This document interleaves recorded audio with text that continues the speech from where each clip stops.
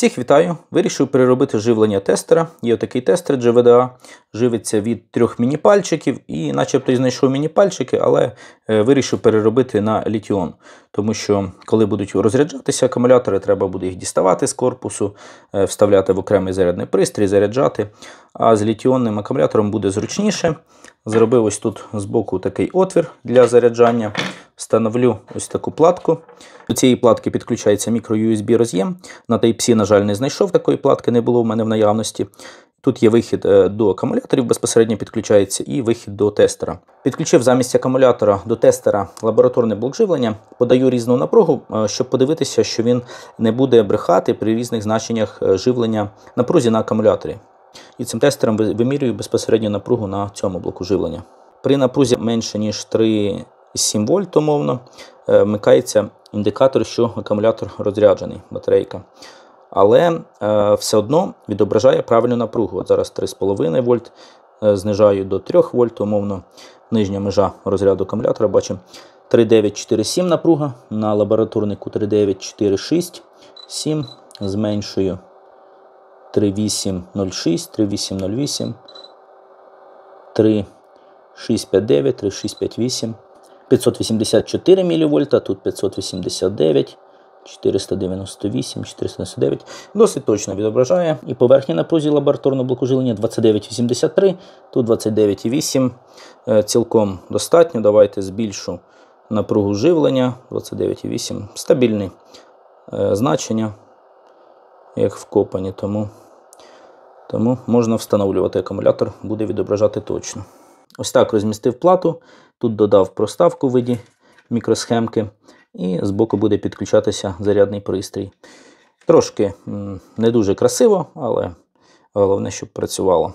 Запаяв плату, підключив акумулятор, до тестера підпаявся. Думав спочатку сюди запаятися, щоб можна було кришку від'єднати, але подумав, і контакт буде гірший, е, з часом може погіршуватися, і до цих контактів не так просто підпаятися, можливо, нержавійка. Все працює. Приклеїв до платки акумулятор. До речі, він на 600 мАч. І закриваю. Ось так фінально виглядає. Підключив зарядку, заряджаю вже індикатор розряду не світиться. Акумулятор трошки підзарядився. Думав спочатку його тут розмістити, але платка не поміщалася. Сам акумулятор поміщався, а платка не поміщалася, і роз'єм тоді невідомо на яку сторону виводити, тому мені тут здалося буде більш правильнішим. До речі, підсвітка навіть є в тестера.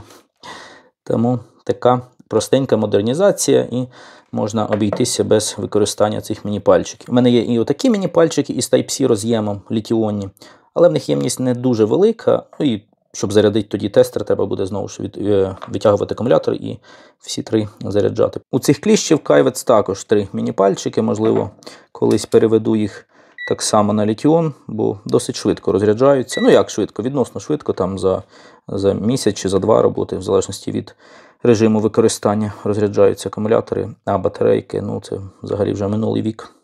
Цей тестер споживає мізер порівняно з кліщами. Тут би і батарейок, в принципі, вони би працювали довго, але мені якось зручніше, я знаю, що є порт, підключив, зарядив в будь-який момент, не треба шукати батарейки. Тестер має ще такий чохол. Цей чохол прикриває цей роз'єм для заряджання.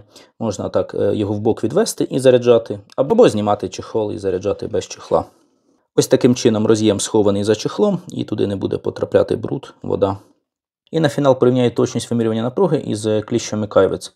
Виставив 30008, тут 2999, 2997, 20008 вольт, на Кайвеці 20 вольт, тут 1998, 10004 вольти, тут 10 вольт, тут 999, 5003 вольта, на Кайвеці 501, тут 5006, 0505 вольта, 0509, 0509 вольт.